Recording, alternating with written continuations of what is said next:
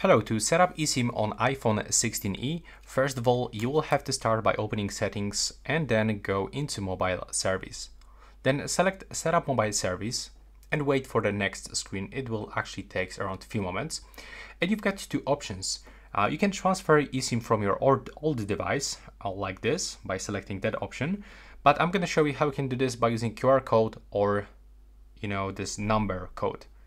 So click on this one and now we get the QR code scanner. So if you receive your eSIM, you get that QR code that you will have to align with your camera like that. And you have to wait for this automatic scanning. Uh, of course, it's not gonna work because I'm already using this one on other device, but mm, you can also do this um, without the QR code to enter details manually. And in this place, you can input an activation code and confirmation code uh, that you probably receive on your email or any other thing like some messages, WhatsApp or something like this. If you find it useful, please leave a like and a comment below.